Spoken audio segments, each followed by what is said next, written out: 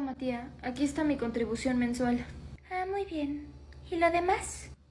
¿Cómo? ¿Qué crees que no lo sé? Mi amiga Carmen ya me vino a decir lo que ganas mensualmente en la empresa. Y ni te hagas conmigo. ¿Qué haces con los otros dos mil? Mantener a mi hija. Ah, mira, pues fíjate que no me parece. ¿Perdón?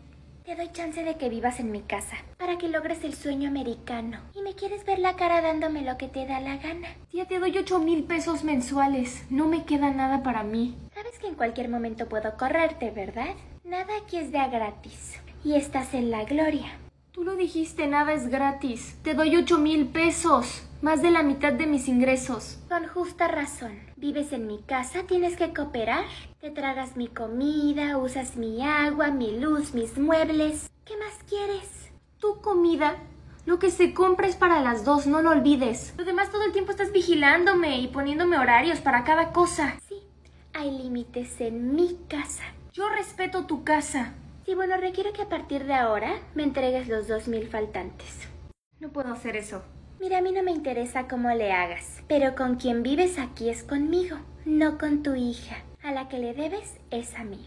Y espero que vayas viendo en dónde conseguir lo que me robaste desde que llegaste. ¿De qué hablas? De todos esos dos mil pesos que no me has pagado desde tu llegada. Es lo que le he mandado a mi hija.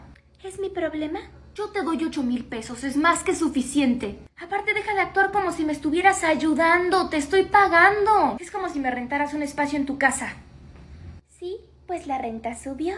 Ya no son ocho mil pesos mensuales, son diez mil. Y sigue quejándote y va a subir más. Tendrás que acabar consiguiendo otro empleo. ¿Por qué me estás haciendo esto? Tú bien sabes que no puedo dejar de mandarle dinero a mi hija. Es mi responsabilidad mandarle dinero de manutención. ¿Y conseguir otro empleo? Este ya me ocupa más de ocho horas diarias. La vida es dura. No me puedes hacer esto. No tengo a dónde ir. Supongo que tendrías que regresarte a tu casa. No tengo ni para el boleto de avión. Pues qué te digo, lo único que me importa ahorita es que me debes dinero. No te debo nada. Bueno, no voy a seguir peleando. Quiero el dinero para Máximo el jueves. O llamo a las autoridades. Ya conseguí dinero. Ah, perfecto. Dámelo. Pero para irme, no quiero volver a saber de ti. Eres una muy mala persona. A la chingada.